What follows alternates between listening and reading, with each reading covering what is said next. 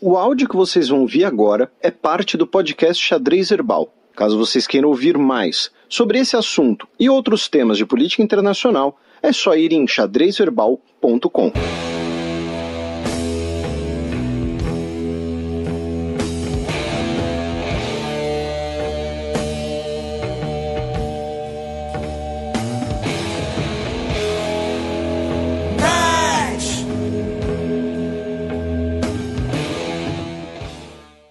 Bem, Felipe, ao contrário dos anos anteriores, né? Nesta edição da Assembleia Geral da ONU, a gente acabou desmembrando, né, em dois programas, é, justamente pelo acúmulo de pautas que a gente teve é, fora o evento realizado em Nova York.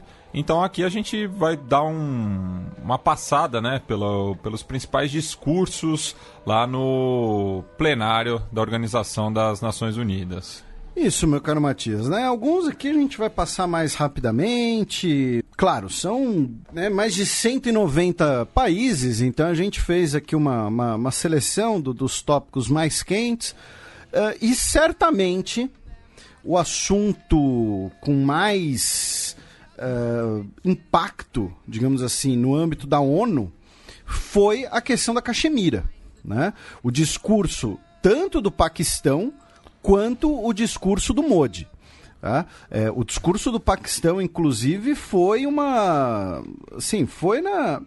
Vou usar um termo não muito diplomático, mas foi uma porrada. E foi quase uma hora de discurso do Paquistão. Tá? E é que o cara era jogador de cricket, então podia ter levado o taco lá, né? Fazendo a... e, e assim, eu, eu, destaquei que foi quase uma hora, porque a recomendação é ser 20 minutos. Né? E aí, normalmente, todo mundo dá um boi ali pro Brasil, que abre, para os Estados Unidos e tal, mas a recomendação é ser 20, 25 minutos, olha lá.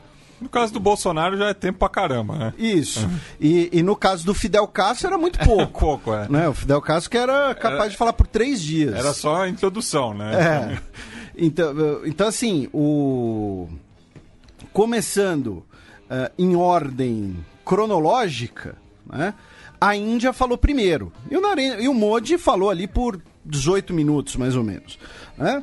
Ele disse que falava em nome de 1 bilhão e 300 milhões de pessoas, a maior democracia do mundo, e ele foi eleito com o maior número de votos de qualquer governante na história.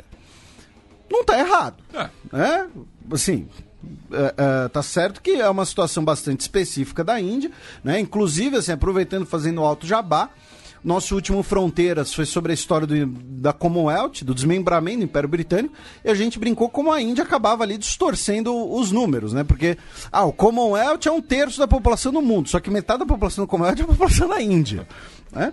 Então, por conta desse mandato, né, ele tinha ali uma confiança muito grande do seu povo, isso tinha um significado muito grande. Ele abordou bastante o desenvolvimento de questões de saúde pública no seu país. Uh, ele destacou o Clean India Mission, que construiu, segundo ele, mais de 110 milhões de banheiros em cinco anos. Por que eu digo segundo ele? Porque algumas ONGs áreas rurais na Índia dizem que a questão do saneamento básico, a questão dos hábitos de higiene ainda é bastante complicada.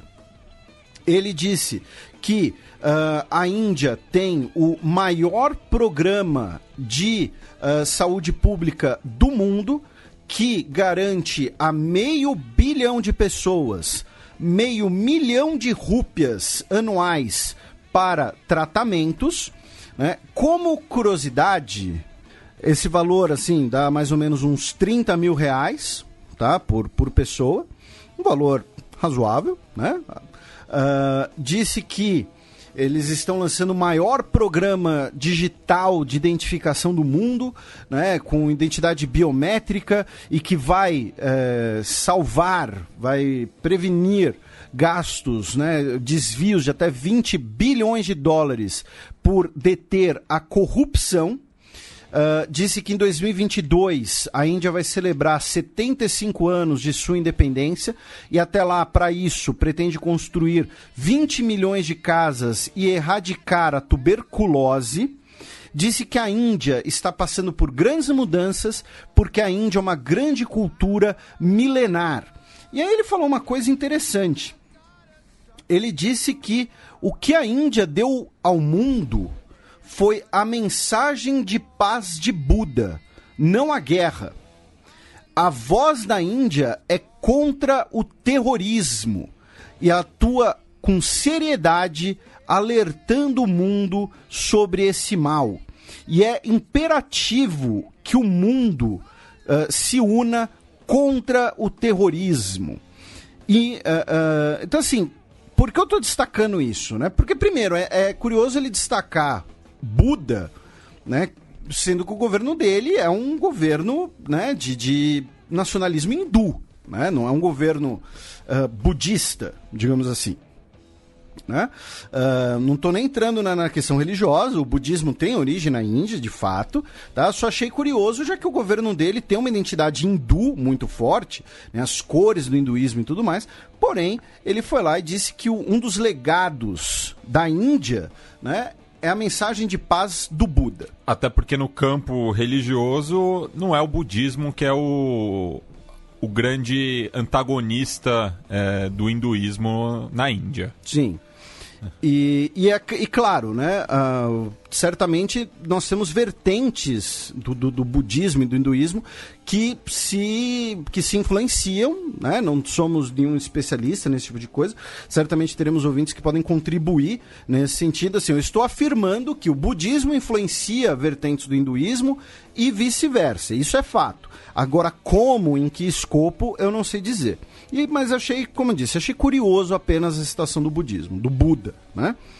E principalmente, isso aqui ele está falando da Caxemira, tá? Vamos lembrar, a, uma das justificativas da Índia para ter revogado a autonomia da Caxemira, para ter, entre aspas, anexado a Caxemira, né, a Caxemira indiana, é a de que ela estaria em desequilíbrio, estaria sendo afetada por grupos na visão indiana, terroristas apoiados pelo governo do Paquistão.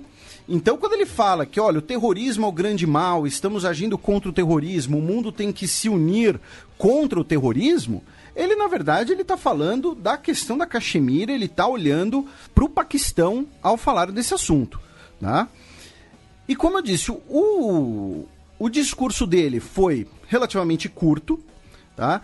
ele, uh, o Modi, não falou uh, diretamente sobre questões da Caxemira, tá? Ele foi, como eu disse, indireto. E aí veio o Khan, né? O, o uh, fãs de Star Trek vão entender, mas... The uma... Wrath of Khan. Isso. O, veio o Iran Khan, né? o primeiro-ministro do Paquistão, e, como eu disse, falou por 50 minutos. E aí, ele já abriu com assim, quando um país com armas nucleares luta até o fim, teremos consequências muito além de suas fronteiras. Teremos consequências para o mundo. E isso não é uma ameaça, é uma preocupação apropriada. Para onde estamos indo? Eu vim aqui porque isso é um teste para as Nações Unidas. Vocês garantiram o direito de autodeterminação ao povo da Caxemira. Vocês têm responsabilidade, tá? Ele disse que tentou falar com o primeiro-ministro Narendra Modi da Índia, se ofereceu para trabalharem juntos, para darem conta de desafios seminais, incluindo a pobreza, e precisamos construir um relacionamento baseado em confiança, mas não conseguimos chegar a lugar nenhum. Uh, ele, então assim, vejam só, ele já chegou lembrando que o país dele tem armas nucleares e que a Índia tem armas nucleares, tá? Então assim, é, é, já foi com, como eu disse, com os dois pés no peito. Ele disse que está claro e óbvio que a Índia tem uma agenda contra o Paquistão e isso ficou muito claro quando, no dia 5 de agosto, a Índia desafiou resoluções do Conselho de Segurança da ONU, revogou o status especial da Caxemira e colocou mais de 180 mil soldados indianos na Caxemira, trazendo o total de suas forças na região a 900 mil militares. Eles colocaram 8 milhões de pessoas da Caxemira sob confinamento, né, sob toque de recolher. A arrogância faz pessoas uh, fazerem coisas cruéis e estúpidas. E o que ele, né, ele, o Modi, uh, vai fazer quando ele tirar o toque de, de recolher. Ele acha que as pessoas da Caxemira vão quietamente aceitar esse status quo? O que vai acontecer com o fim do confinamento será um banho de sangue. Ele pensou nisso? Ele pensou que isso aconteceria quando fez o que fez? As pessoas irão para as ruas e o que os soldados farão? Eles atirarão e mais cachemires se radicalizarão. E adivinhem, a Índia vai culpar o Paquistão e o mantra do terrorismo islâmico vai continuar. Em algum lugar no mundo muçulmano, as pessoas pegarão em armas se tivermos um banho de sangue, muçulmanos pegarão em armas, não por conta do Islã, mas porque eles estão vendo que não terão justiça em relação a, aos, né, aos muçulmanos da Caxemira. Né, eles estarão vendo que os muçulmanos não terão justiça. Ou seja, é, é porque eu estou lendo direto do inglês, tá, gente? Desculpa. Então, é, como ficará quando dois países com armas nucleares estão num caminho uh, uh, frente a frente, né? cabeça a cabeça, head-on. As Nações Unidas foram criadas em 1945 para impedir que esse tipo de coisa ocorra. A Índia precisa acabar com seu confinamento inumano, tá? Então assim, ele pegou assim, como eu disse, pesadíssimo. Ele deixou claro que não é uma ameaça, é uma preocupação, porém, ele colocou que é, é, são dois países nucleares. E aí veio a, a, a lei de Godwin, meu caro Matias. ele lembrou que o Narendra Modi ele é um membro uh, uh, vitalício, né? ele é um membro por toda a sua vida da Rastria Sawak Sevak Sang, uma organização inspirada por Adolf Hitler e Benito Mussolini, que acredita em puridade racial, em superioridade racial e na limpeza étnica de muçulmanos da Índia. Ele conduziu um pogrom em Gujarat em 2002, que era a província que o Modi era governador, que... Uh, estado, né? É, um estado. É. Que é, é, centenas morreram. Então, assim, é, como eu disse, ele já mandou ali a lei de Godwin. Falou que ele é, é inspirado por Hitler e por Mussolini. E aí ele disse que pedimos que as pessoas façam justiça e que os outros países do mundo têm que fazer uma escolha. É, apaziguar, satisfazer um mercado de mais de um bilhão de pessoas ou proteger os valores de justiça, humanidade. Se uma guerra convencional começar, qualquer coisa pode acontecer. Quando um país sete vezes menor que o seu vizinho se encontra perante a escolha de se render ou lutar até a morte, o Paquistão irá lutar até a morte. Então, assim, foi uma porrada, tá? Foi colocando que o governo indiano age por islamofobia, age por racismo, uh, tem uma política inumana uh, na Caxemira, que o país dele tem armas nucleares e que eles vão lutar até a morte. Para não dizer que foi só isso, ele também questionou questões de desigualdade econômica mundial dizendo que bilhões de dólares vão dos países mais pobres para os países mais ricos é, é, chupinhados, né? Ele falou si, siphoned, né? É, sifão, sabe, do laboratório, quando se faz lá aquela... Uh, uh, se aspira um líquido para criar né, o fluxo, uh, por elites governantes que mandam esse dinheiro para paraísos fiscais e contas offshore, devastando o mundo em desenvolvimento. Da época que nós entramos no governo, um ano atrás, a dívida do Paquistão cresceu quatro vezes do que nos dez anos anteriores. Nós, pedi nós perguntamos como um país de 200 milhões de pessoas pode cuidar de seu povo quando metade do seu dinheiro vai para o pagamento de juros de dívida. Ah, então ele também falou de questões econômicas, não apenas a Caxemira. O outro país que explicitamente citou a Caxemira foi a Malásia, um país muçulmano, tá? quando o seu primeiro-ministro, o Ma Mahathir bin Mohammed, disse que as questões de Jammu e Caxemira devem ser solucionadas pacificamente e a Índia precisa trabalhar com o Paquistão. Né? Ou seja, ficou do lado do Paquistão. Por que eu disse explicitamente? Porque aconteceu uma coisa que a gente até tinha especulado, né? Muitos países para não comprar uma briga direta com a Índia, porque a Índia é um país muito grande, a Índia é um país muito influente. O próprio Khan coloca isso, né? Apaziguar um mercado de um bilhão de pessoas. Citaram preocupações com a comunidade muçulmana ao redor do mundo, né? Então, por exemplo, foi o caso da Indonésia. A Indonésia diz que minorias devem ter seus direitos preservados, né, e que minorias muçulmanas são perseguidas pelo mundo. Pode ser interpretado como uma referência aos Rohingya, em Myanmar, por exemplo, pode ser interpretado também como uma referência à população da Caxemira indiana, à população muçulmana da Caxemira indiana. Tá? Mas o, o, outro país que explicitamente citou a Caxemira foi a Malásia. Todos os outros falaram como eu disse, coisas bem, bem mais brandas, né? Preocupações com minorias, que Índia e Paquistão têm que trabalhar juntos, que não pode ter guerra, que eles têm que ser brothers, esse tipo de coisa, certo? Aí, saindo da Caxemira, a gente vai para a Península Coreana, né? Em que uh, a China, né, obviamente, uh, falou do assunto.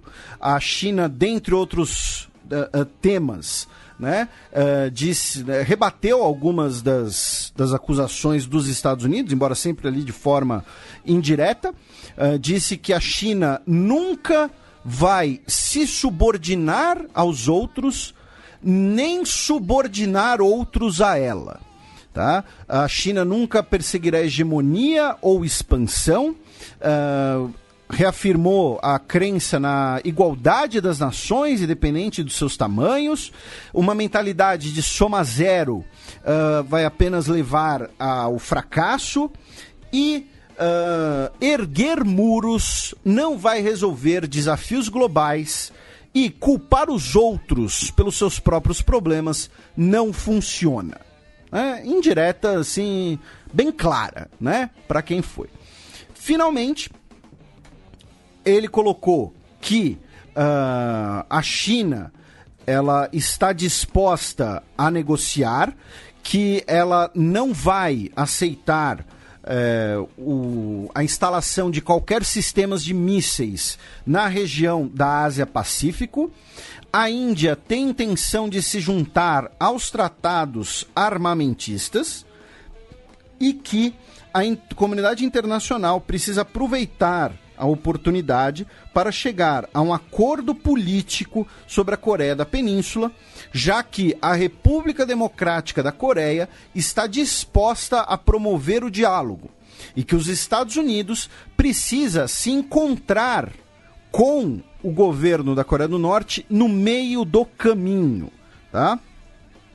Depois tivemos o pronunciamento né, da própria uh, Coreia do Norte, uh, por meio do seu ministro de Relações Exteriores, o Kim Song, tá? Não foi o Kim Jong-un que falou. No caso chinês também foi o seu ministro de Relações Exteriores, tá?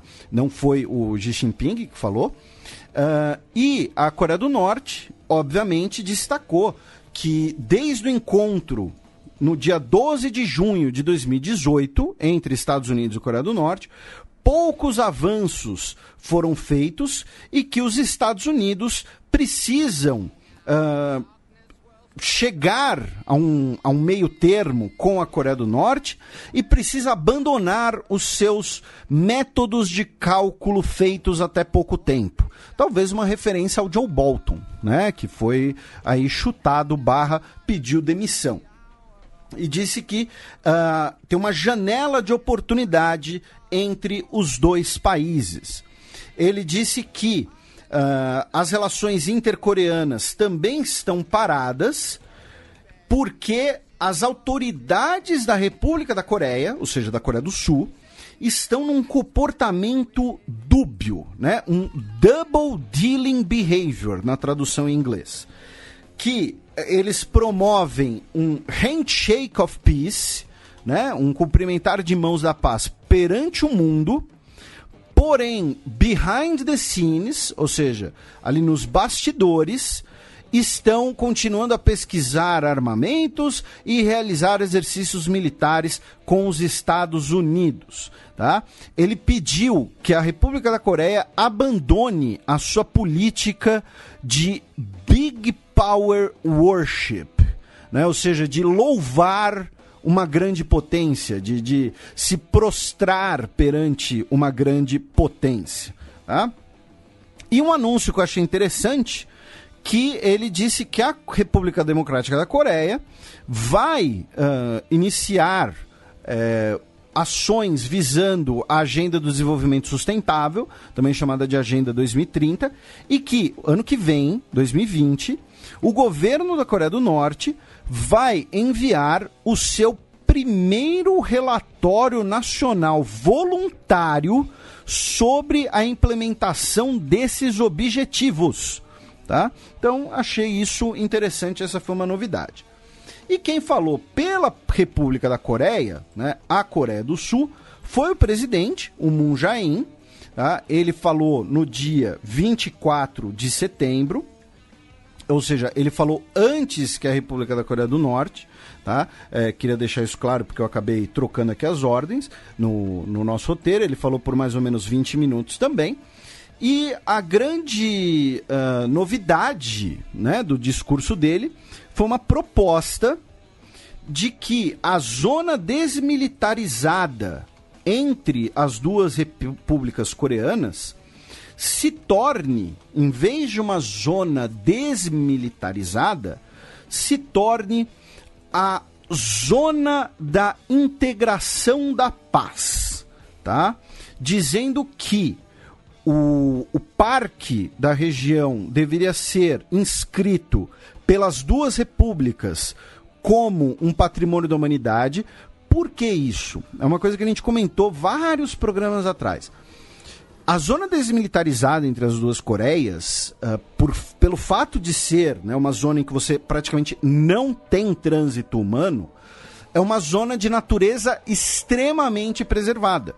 Tá? Vegetação, uh, animais. Então, a ideia, né, um dos, uma, uma parte desse plano do, do Munjain seria que parte dessa, dessa região continuasse preservada e fosse inscrita como um patrimônio da humanidade. É, ele colocou assim, que essa zona de 250 quilômetros representa o confronto militar e a tragédia da divisão mas paradoxalmente também é um tesouro ecológico uh, em estado puro. Tá? Tô traduzindo aqui meio de, de cachola, né? Ele usou pristine, né? Pristine é novinho em folha, né? Então estado puro, né? Dizendo então que deveria ser né, inscrito como patrimônio da humanidade e que tem que tirar 380 minas ali da região. Além disso, ele defendeu maior integração econômica entre as duas repúblicas coreanas e ele teve um discurso muito mais uh, otimista, né? digamos assim. É, ele disse que hoje em Pamunjom nenhuma única pistola existe, nenhum confronto ocorre desde o histórico encontro entre os líderes coreanos, que 177 restos mortais já foram transladados da região onde tiveram, tivemos a batalha mais sangrenta da Guerra da Coreia. Disse que uh, a República da Coreia pretende criar uma economia da paz inspirada pela Comunidade Europeia do Carvão e do Aço, que foi embrião da União Europeia lá na década de 1950, justamente para evitar uma nova guerra, né? Porque Uh, uh, carvão e aço, numa lógica industrial, são, eram, melhor dizendo, né, as matérias-primas da guerra. Então, se você tinha uma comunidade europeia de carvão e de aço, ou seja, a produção de carvão e de aço alemã e da França eram comunitoradas, você não tinha como fazer um grande projeto armamentista, por exemplo. Né? Então, assim, o, o, o, o, discurso do Munjain já foi bem mais, como disse, bem mais otimista, bem mais Hakuna Matata, hum. todo mundo de mão dada, We Are The World, uh, Jogos de Inverno, se tornou Olimpíada da Paz, eles querem disputar Olimpíadas juntos, né? então foi bem mais, bem mais de boas. Né? E, com um detalhe, ele lembrou que o povo coreano, como um todo, celebrou os 100 anos do movimento de 1 de março contra o governo colonial japonês. É uma coisa que a gente sempre comenta. As duas repúblicas coreanas têm algo em comum. O... Esse inimigo, no caso, né? É, o repúdio ao Japão, no caso. E, e é 100 anos do movimento que, que iniciou a luta pela independência na Coreia, que na época tinha sido anexada pelo Japão. Né? A Coreia ela foi ocupada pelo Japão desde o final do século XIX. Em 1910, ela é formalmente anexada pelo Império Japonês. Então, ele ainda fez questão de citar esse aspecto. Aí, em relação aos países insulares, né? Uh, nós tivemos dois, uh, peguei aqui dois discursos. Um, claro, do primeiro-ministro da Gloriosa República de Vanuatu, o Charlotte Sawai Tabimasmas, que uh, colocou que nos seus 39 anos de existência, Vanuatu manteve uma economia aberta e estável, eh, macroeconomicamente robusta, porém o seu país é extremamente vulnerável a questões naturais. E uh, que as Nações Unidas classificou o seu país como uma das nações mais vulneráveis, que uh, a temperatura dos oceanos tem subido cada vez mais, colocando em é, é uma ameaça à própria existência de Vanuatu. O seu país não é um contribuinte das emissões de gás estufa, porém é um dos mais afetados por isso. E ao contrário, o seu país, desde 2017, protege toda a vida marinha, proibiu o uso de plásticos, além de outras medidas. Ele disse que a comunidade internacional precisa garantir subsídios financeiros para o desenvolvimento das nações vulneráveis às mudanças climáticas que 60% da população de Vanuatu é jovem, então eles são os que mais serão beneficiados por contribuições à economia. Uh, ele disse assim que a, o desenvolvimento da economia de Vanuatu não será para gerações de apro... não aproveitadores, mas gerações de, de, de velhos né? mas que serão dos jovens, porque 60% da população das ilhas é jovem.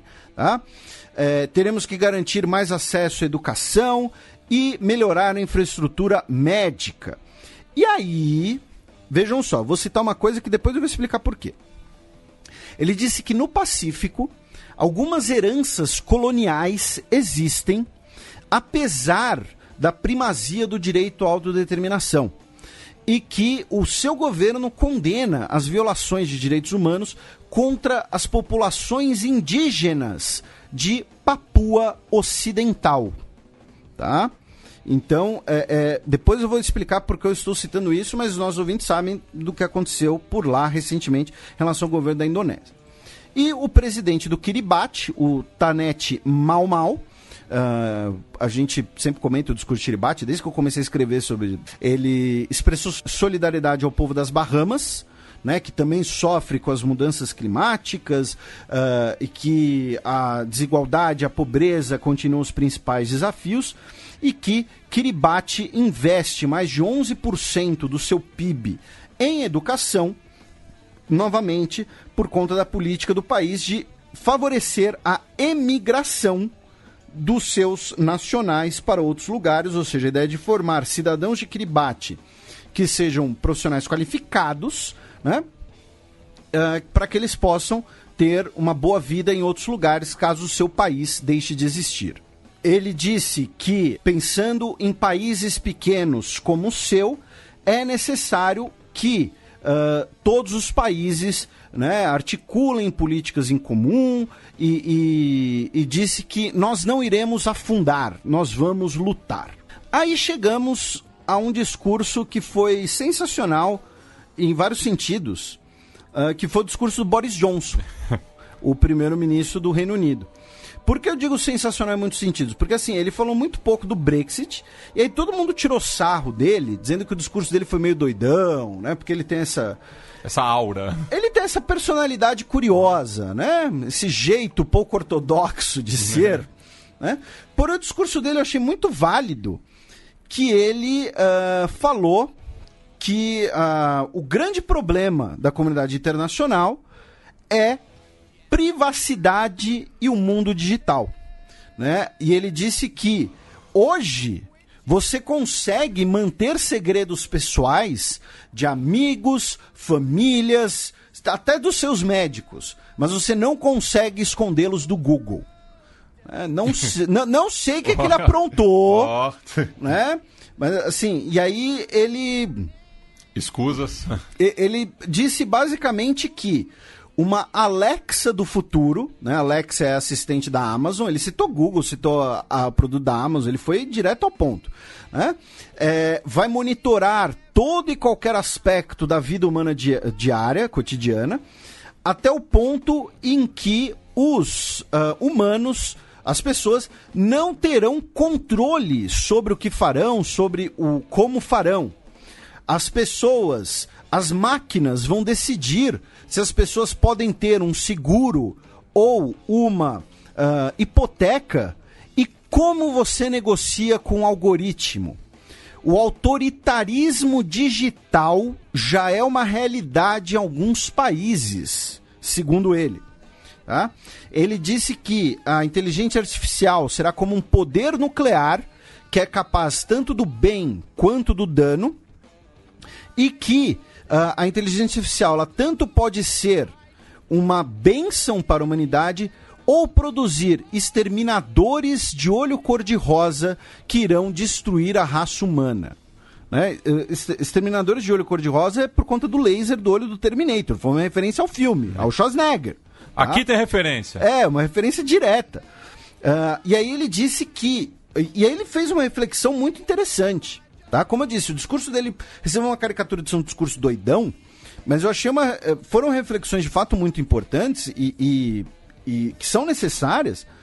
E aí ele colocou assim: uh, o avanço tecnológico está criando nas pessoas uma desconfiança da tecnologia, da própria tecnologia.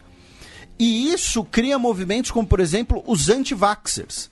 Né? Ou seja, dizendo que o avanço tecnológico está indo tão longe que as pessoas estão começando a olhar para a tecnologia, para a ciência, com um olhar desconfiado, com um olhar de uh, isso vai ser o, o, o, anticristo, o número da besta, né? o chip nas pessoas e tudo mais. E isso leva, inclusive, por exemplo, aos antivacinas. Né? Ou então aos terraplanistas, né? que bizarramente tem, tem, tem gente defendendo terraplanismo. Então, é, ele disse que não é, não se deve abraçar o pessimismo anti-ciência.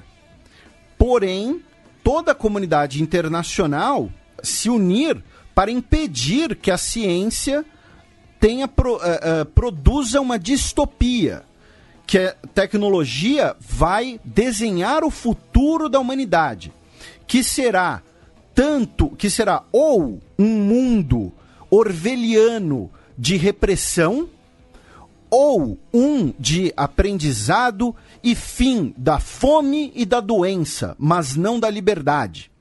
Aí ele citou, por exemplo, que nanotecnologias uh, estão é, é, ajudando os surdos a ouvir e os cegos a ver, e que milhões de pessoas que não têm acesso a sistemas bancários, hoje, com um simples app, podem preencher essa, esse gap, né, esse buraco. Ele disse que o Reino Unido uh, tem os seus valores e que vai proteger esses valores e garantir que as tecnologias não ameacem esses valores, tá? E aí por que eu disse que ele ficou, né, com a aura de doidão? Porque ele não falou um catso de vírgula sobre o Brexit.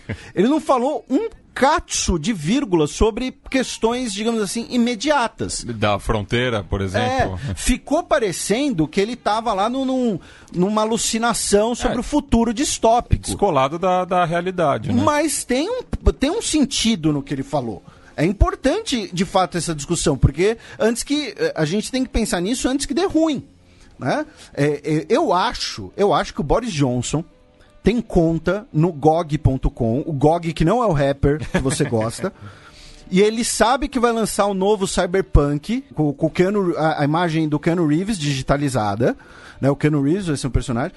E ele está preocupado com aquele mundo distópico do Cyberpunk e fez o discurso dele baseado nisso. Na verdade, o discurso dele é propaganda do GOG. Tá? Mas, falando sério, eu achei um discurso muito interessante, embora, como eu disse, muita gente ficou querendo né, pelo menos uma vírgula né, sobre o Brexit, de alguma coisa assim. Aí nós vamos para a questão uh, da Ucrânia com a Rússia, em que uh, não tivemos nada de diferente, digamos assim, né? Uh, pre... a, a, até porque, a, no caso do, do Zelensky, as atenções estavam divididas. Né? O Zelensky, né, que, que falou, o presidente, e ele fez ali uma breve recapitulação uh, uh, da, da, história ucraniana. E aí ele citou né, um cantor ucraniano uh, de ópera chamado Vasil Slipak, que cantou no Carnegie Hall, na Catedral de Notre Dame, porém ele morreu na Bacia do Dom, defendendo o seu país contra a agressão russa. E a bala de 12,5 milímetros que o matou, ou seja, foi uma bala .50, né, usando a, a, a, a escala usada nos Estados Unidos, custou apenas 10 dólares. E esse é o preço da vida humana no nosso planeta. Ele disse que faz. Eu só não falo para ele descobrir a pólvora, porque está envolvido. Né? faz cinco anos desde que a Rússia ocupou a Crimeia apesar da lei internacional e das organizações internacionais, a Ucrânia ainda precisa defender a sua soberania, sua integridade territorial.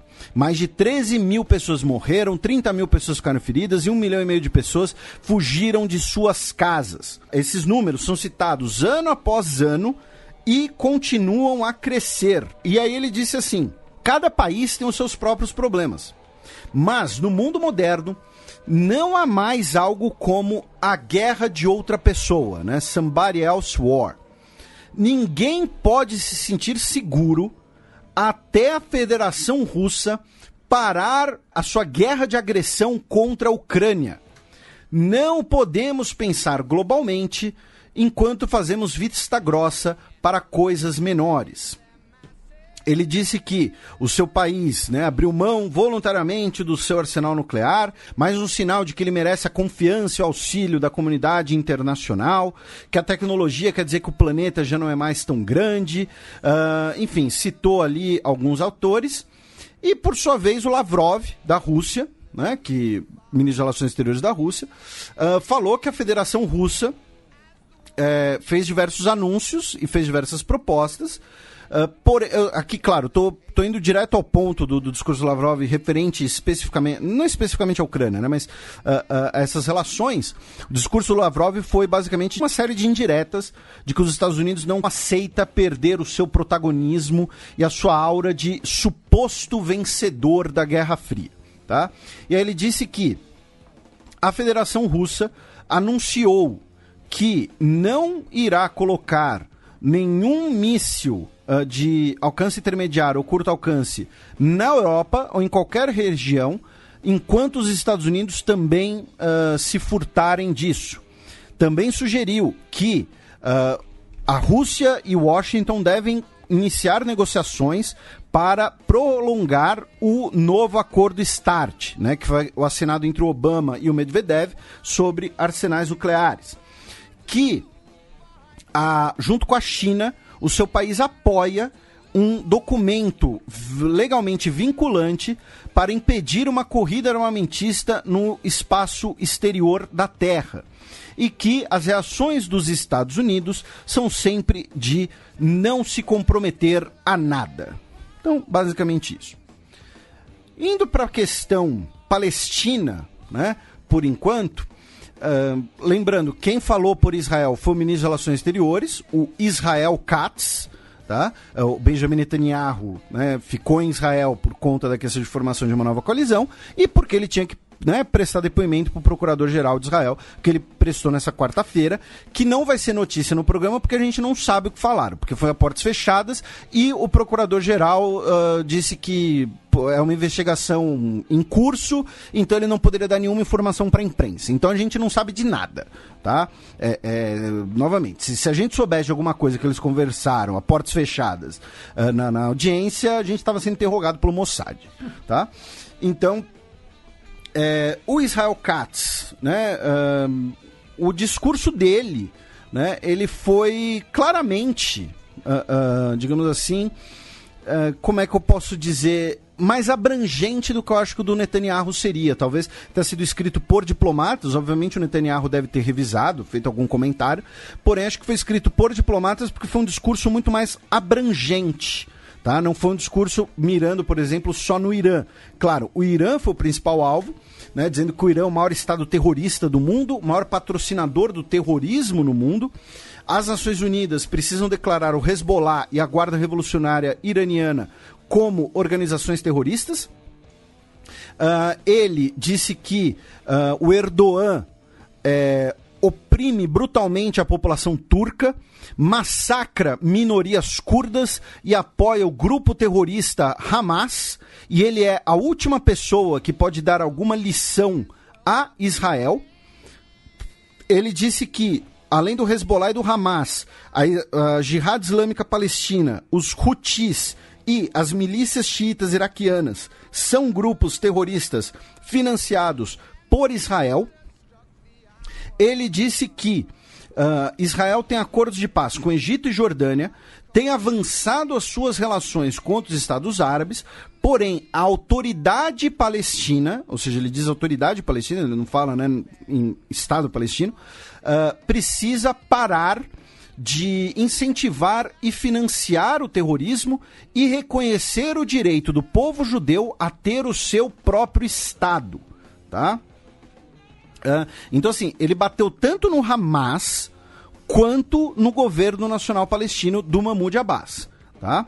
E aí ele disse que uh, o Oriente Médio também apresenta oportunidades para cooperação, para economias, e que o primeiro-ministro Netanyahu apoia o projeto é, Tracks for Regional Peace, né? ou seja, uh, uh, trilhas para a paz regional, que seria uma ferrovia ligando a Jordânia ao porto de Haifa, tá?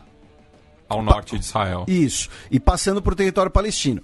A questão é que, basicamente, essa ferrovia que ele está citando, ela já existe. Ela só vai ser modernizada, porque é uma ferrovia otomana. Tem, tem uma estação de trem otomana desativada em Haifa e uma em Tel Aviv, que são hoje museus. É, porque antigamente era tudo, tudo Império otomano. turco otomano. É, era tudo deles. E aí, meu caro Matias, só para citar assim por cima, antes da gente mencionar os outros dois discursos finais, nós tivemos os diversos direitos de resposta, né? Que são as partes mais picantes. É, que é quando a galera em volta fala, yeah! É, é, é o recreio, né? É, no dia 27, uh, a Sérvia pediu direito de resposta contra a Albânia, tá?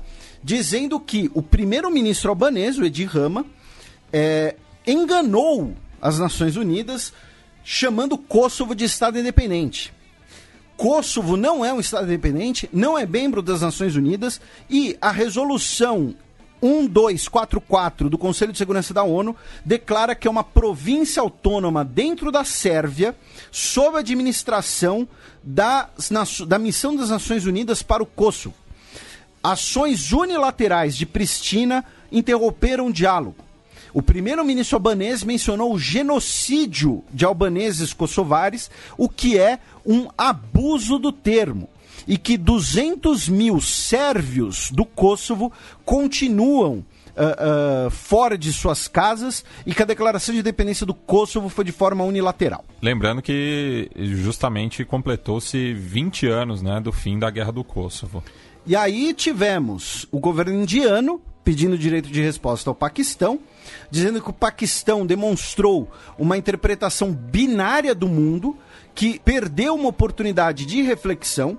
Ao usar os termos pogrom e banho de sangue, ele mostrou uma mentalidade medieval, ameaçou iniciar uma guerra nuclear, que é uma coisa irresponsável, não um comportamento de estadista que é, agora que o senhor Khan convidou representantes das Nações Unidas, ela se pergunta, né, a representante indiana, ela se pergunta se ele confirmaria a presença de 130 grupos designados como terroristas e sendo o no seu país e sendo o único governo do mundo que fornece pensões para indivíduos identificados como membros da Al-Qaeda.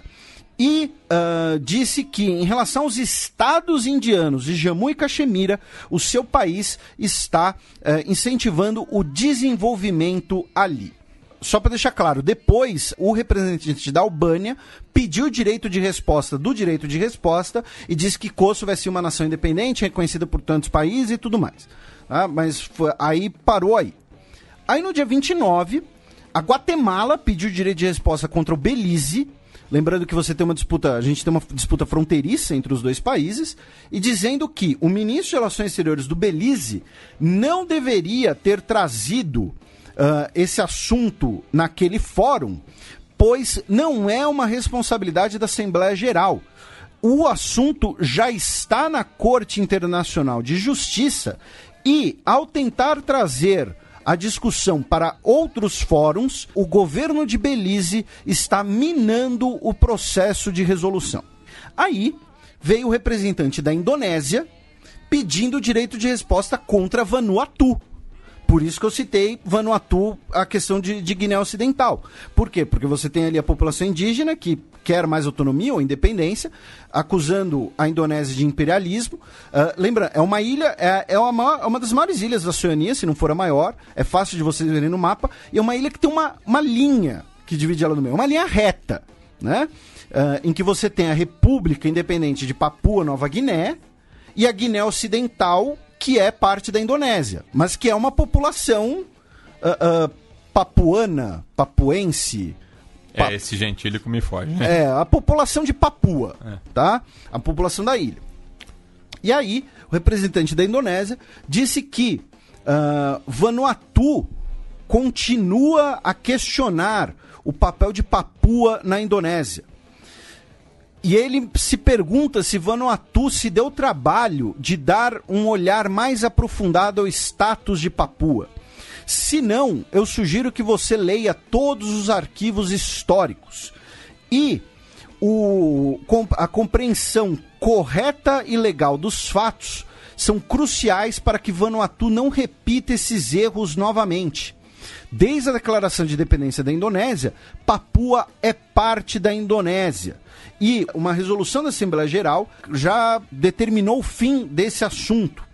Vanuatu quer dar a impressão de que está preocupado com direitos humanos, mas a verdade está apenas apoiando uma agenda separatista. E esse tipo de provocação causou a destruição de infraestrutura, lares e causou mortes. A Indonésia respeita as diferenças e as sabedorias locais de cada grupo do seu país.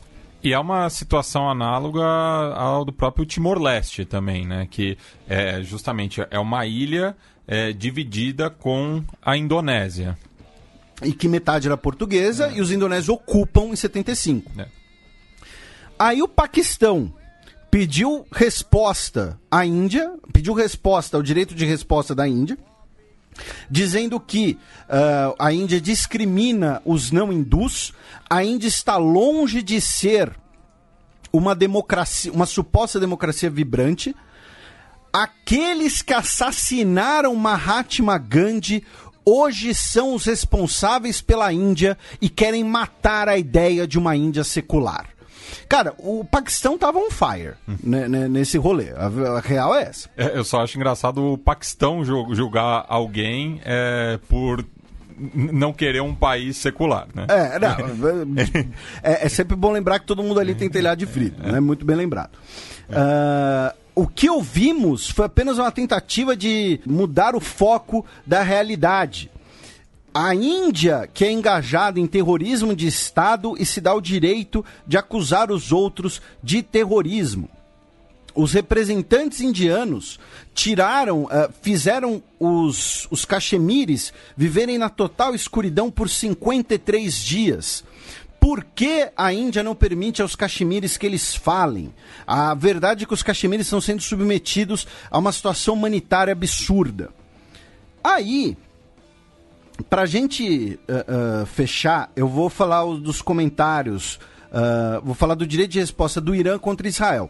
Por quê? Porque a gente teve uns 5, 6 direitos de resposta e direito de resposta ao direito de resposta entre Azerbaijão e Armênia. Foi assim, foi é, é, é surreal, tá?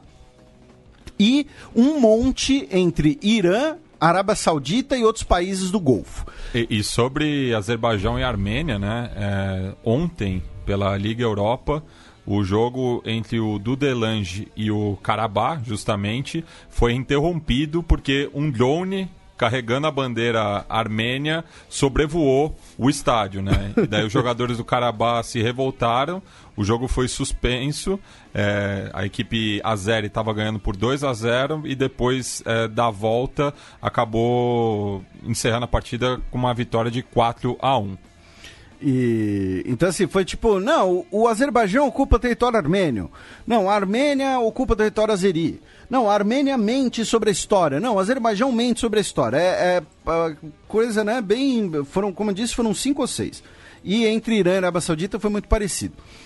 Já sobre né, o Irã, Uh, o representante do Irã disse que as declarações do ministro de Relações Exteriores de Israel, uh, do regime israelense, né, de, não deu outra escolha além de exercer o direito de resposta. O uh, ministro de Relações Exteriores tentou fazer a mesma coisa que o primeiro-ministro Benjamin Netanyahu faz todo ano, mas esse comediante amador fez um monte de bravatas no seu primeiro show por exemplo, ele citou referências históricas e um provérbio persa erroneamente. Ele, uh, depois, o regime israelense não deveria uh, tentar usar a história na sua argumentação, porque os seus vergonhosos 70 anos podem ser sintetizados em um par de palavras: uh, ocupação, brutalidade e massacre. Colocando o ditado no seu contexto correto, a mensagem para o regime israelense é que não acabou enquanto não chegar ao fim. As gafes do ministro foram cômicas o suficientes para que a ausência do senhor Netanyahu não seja sentida. Israel é um regime de apartheid e o único no mundo que abertamente pratica o racismo fingindo ser progressista. Não podemos ignorar que a ocupação e racismo estão no coração dos conflitos no Oriente Médio. Tá? E aí, uh, nesse mesmo dia, ele também respondeu Bahrein, Emirados Árabes Unidos, tá todo mundo ali se acusando sobre o, o ataque na, nas refinarias. E aí, finalmente, uh, meu caro Matias, dois discursos, para a gente citar aqui apenas né, simbolicamente, um deles foi o do presidente da Macedônia do Norte, o Zoran Zaev, disse que, uh, né, pela primeira vez, o seu país estava na ONU falando não como uma ex-integrante de outra nação, né? Referência que antes era ex-república Yugoslava da Macedônia, né? E agora é Macedônia do Norte.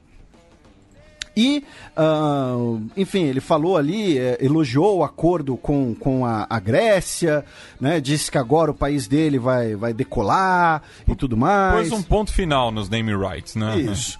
Falou com preocupações de migração, lembrando, a Macedônia era uma rota migratória, né, para as pessoas que vêm do, do Mediterrâneo chegarem no, no, no centro da Europa. E tivemos o primeiro-ministro sudanês falando, o Abdallah Handok. E aí, uh, ele falou que o, a revolução do seu país foi um sucesso e que uh, mostrou a, a resiliência do povo sudanês, que lutou por mais de três meses contra um regime brutal e repressor. Ele agradeceu o Conselho de Segurança, a Assembleia Geral, a União Africana e que uh, o Sudão vai transformar, vai modificar a sua política externa distanciando ela da que prevaleceu nas últimas três décadas, né? E que nessa nova abordagem vai estender a mão aos seus parceiros regionais, o espírito de amizade, e vai defender os direitos humanos e vai é, encerrar o isolamento regional sudanês. E pediu que os Estados Unidos removam o Sudão da sua lista de é, patrocinadores estatais do terrorismo e pare de punir a sua população pelos atos cometidos pelo regime anterior. Ah, então, esses dois aqui a gente cita mais um aspecto simbólico, né, mas interessante.